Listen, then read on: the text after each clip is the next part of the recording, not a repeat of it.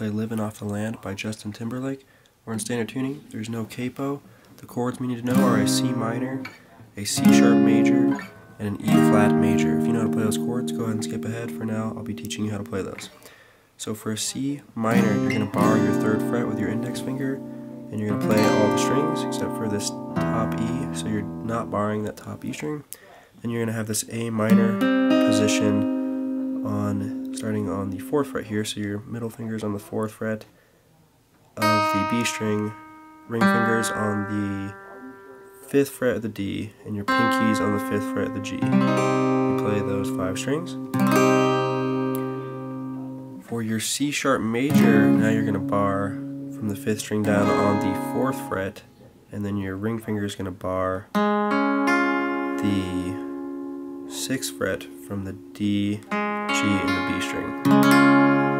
And then you can slide that shape up to your sixth fret for your E flat. If you're a beginner, you can play these chords the same way. You don't have to bar them. Just play them like this, and then you can squeeze all your fingers in your A position like so for your E flat and your C sharp major. Okay, so now for the progression itself, we start on a C minor,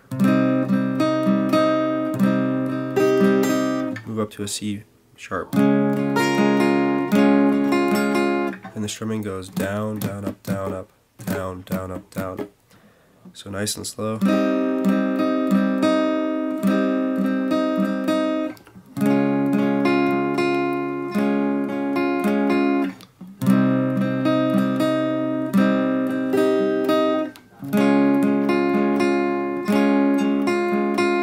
That progression's played throughout pretty much most of the song.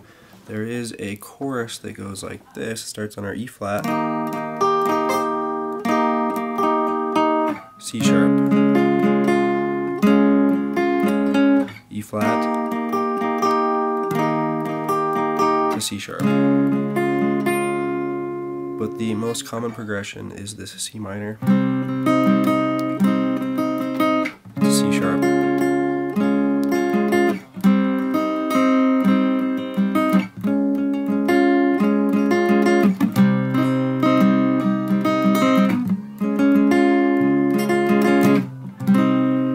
there is to it for the song. So, it's going to be it for this tutorial. If you enjoyed that, please subscribe to my channel. If you have questions, comment below. Thank you for watching.